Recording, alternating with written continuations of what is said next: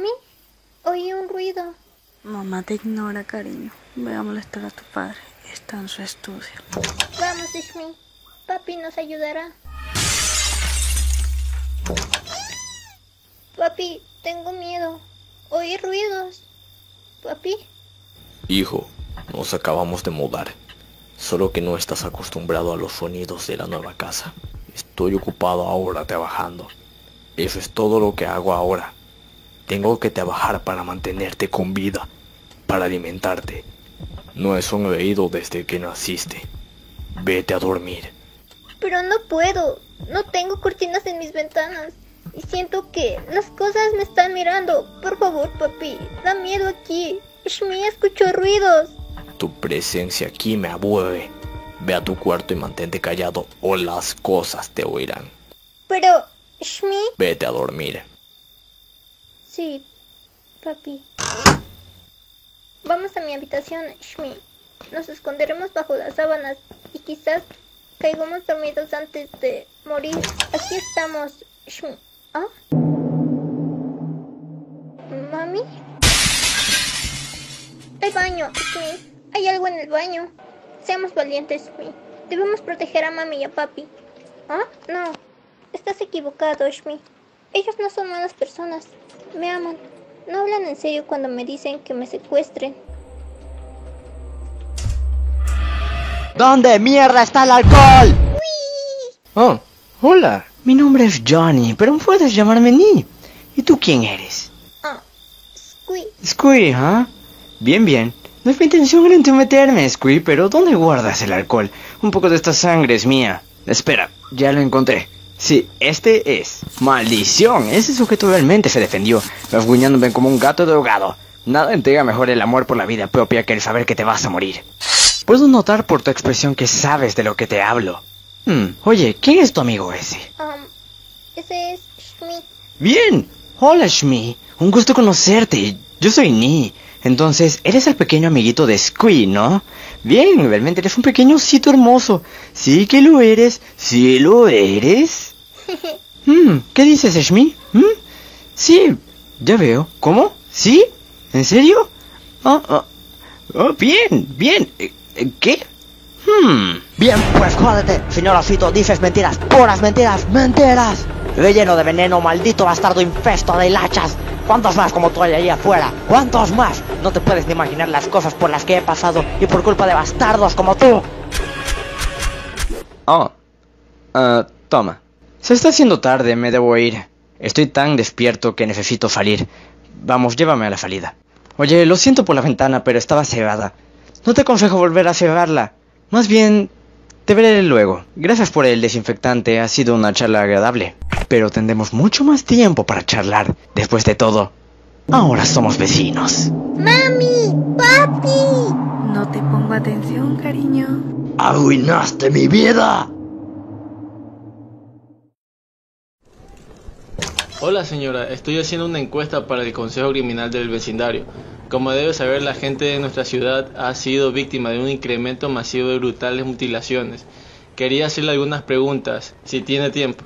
Bien, realmente detesto perderme Oprah Window. Pero cosa de las mutilaciones es muy molesta. Así que pregunte. Y la mujer le agrada besarlo. Okidoki. Entonces, ¿qué piensa del asesinato? Mm, bueno, la semana pasada encontré el cuerpo decapitado de mi esposo clavado a la muralla, con su esternón abierto y lleno de cráneos humanos. Así que creo que mm, es, bueno, eh, malo, ¿no? Ajá.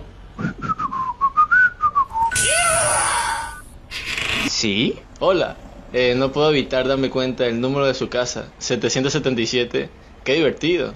¿No es ese el número del paraíso? O algo así. Jeje. ¿Acaso esto luce como el paraíso? Eh, no, creo que no. Oiga, hay algo malo con su timbre, mire. ¿Se le ofrece algo? Oh, sí. Vengo de parte del Consejo Criminal del Vecindario. Es una encuesta sobre la ola de crímenes violentos. Quería hacerle algunas preguntas. ¡Vente aquí! Dos noches atrás estaba caminando de noche y un pequeño chihuahua empezó a seguirme. Maldita sea, corrí, finalmente lo perdí y volví a casa. Pero él sabía, él sabía. ¿De qué está hablando? ¿Acaso el canino te envió? No, solo estoy haciendo unas encuestas. Nada más. Es en serio. Ah, ya. Entonces, ¿qué querías saber? Um, verá, realmente no es tan importante. Yo tengo que irme, ¿sí? Ahora mismo. Lo siento mucho por haberle pertur... Eh, molestado. No hay problema. Creo que necesitaba un descanso. Estaba dibujando un cómic. Feliz Niño Palillo. Es bastante popular entre los maníacos sin hogar. Ahora pregunte, pregunte todo lo que quiera, por favor. Siéntese. Eh, bien, eh, sí, ¿qué opinas sobre esta repentina alza de los crímenes violentos? ¿Y qué cree que se puede hacer para proteger a la gente? Hmm, los crímenes violentos. Perfectamente naturales en una sociedad cuyo avance está limitado a su tecnología. La conducta básica del hombre moderno es muy diferente a- de las conductas de sus ancestros primitivos. Los únicos cambios importantes son las marcas, ya sea en un traje o en un calzoncillo. La gente son solo cachos ignorantes cortándose los unos a los otros. Parecen incapaces de avanzar por sobre las tendencias violentas que en algún momento fueron necesarias para sobrevivir. Y acerca de proteger a la gente, bueno, eso es un poco paradójico. Al menos en lo que sé, estoy seguro de que si investiguen las vidas de las víctimas, se dará cuenta de que ellos mismos son los causantes de sus propias muertes. En esos casos, los llamados víctimas en algún momento jugaron un papel importante en la creación de su asesino. Creo que las vidas terminadas fueron culminadas por el hecho de que esas vidas ya no van a evolucionar y estaban ya gastadas en cosas que nunca llegarán a sobrepasar por sobre la crueldad infantil que muchos aún siguen practicando. Bi- bien. Ahora pregunte otra cosa. Sí, mm, ¿qué opinas sobre la idea que dice que la violencia en la televisión y en otros medios de comunicación tienen efectos negativos en los niños y en otras mentes impresionables? Oh, cualquier montón de mierda que no se dé cuenta de que el entretenimiento es solo eso y nada más, merecen ser tirados a una celda mojada por haber sido tan estúpidos. Las películas, los libros, la televisión, la música son solo entretenimiento, no guías para automaldecirte. Son unas respuestas fantásticas. Lo siento por estar tan nervioso antes. Pero no se preocupe, estaré encantado de continuar con las preguntas. Tengo una, pero es algo extraña. Debe recordar a la chica que fue encontrada detrás del centro comercial. Algo muy extraño. Ella estaba completamente desangrada. La policía piensa que tal vez el asesino tiene algún complejo vampírico, como si bebiera la sangre de sus víctimas. ¿Qué opina al respecto? Nunca me vi su sangre, nunca, pero la necesitaba. ¿Ve? Cambia de color cuando se seca, nunca se queda igual. Tengo que mantener la muralla húmeda. Mejor pregunte otra cosa. Mmm, qué rico taco. Oh, te ves muy raro. Disculpe, ¿qué fue eso? ¿Acaso dijo raro? Bueno, sí, estaba hablando de tu apariencia. Simplemente me moría si mi hijo se viera tan raro como tú. ¿Raro? ¿Qué mierda de palabra es esa? Yo odio esa palabra. Pocas palabras como esas son tan increíblemente estúpidas. Y está usada en una descripción de mí. ¿Es en serio? ¡Hey! Ella dijo raro. ¿Y qué? Solamente mírate y ahora cállate. Y ahora tú lo dices. ¿Es en serio? Dijiste esa palabra. De todas las palabras de mierda tenías que decir esa. Estúpido de mierda. Sin ninguna duda, cada vez que salgo de mi casa es como si no tuviera derecho a ser tratado en paz o ser tratado con respeto. Ustedes malditas moscas y un cerebro en sus cabezas. ¿Creen que mi diferencia de ustedes es una excusa para hablar de mí? Como si yo estuviera en una pantalla para ustedes, como si yo fuera como soy porque quiero que unos bastardos hablen de mí. Y no solo eso, usan la palabra raro. ¿Qué pasó? Bueno, esa señora llamó a ese tipo raro, raro, raro, raro, raro. Les mostraré que es raro. Les mostraré lo que es raro. Mi taco se enfría. ¡Oh, Dios mío! ¡Auch! ¡Ah! ¡No! ¡Mis ojos! ¡No puedo ver mis ojos!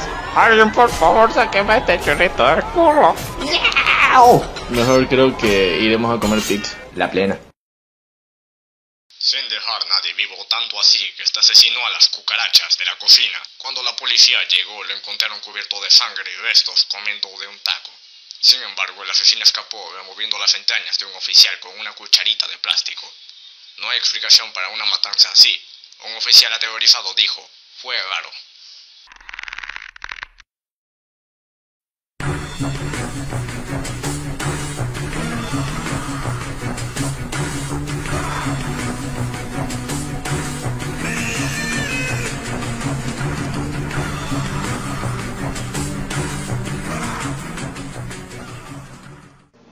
Querido diario, hoy día vinieron unos amigos a casa.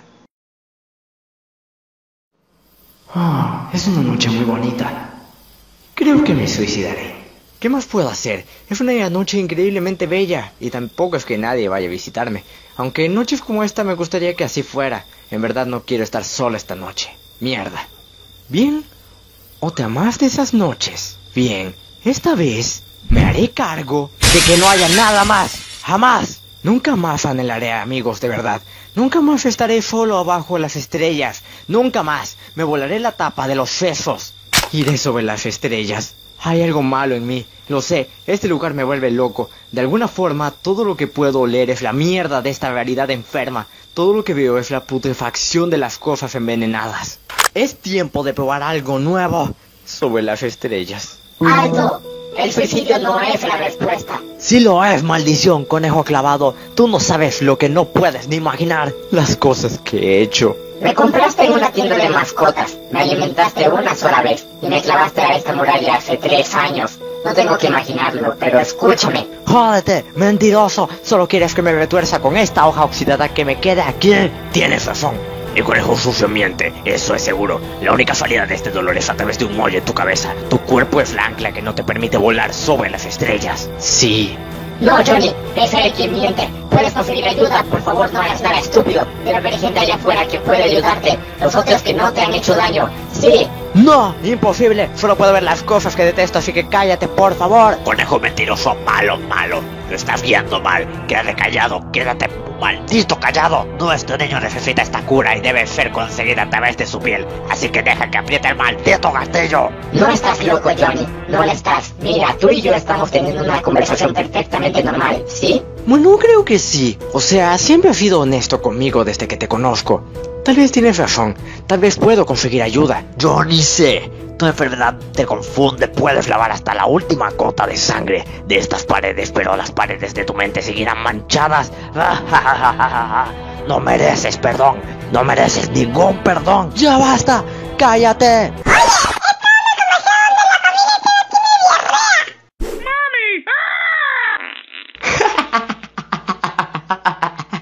Crisis evitada. El fin. Querido diario, hoy día rellené unas muñecas con unas ratas muertas que puse en la licuadora. Estoy empezando a creer que tal vez sí hay algo malo en mí.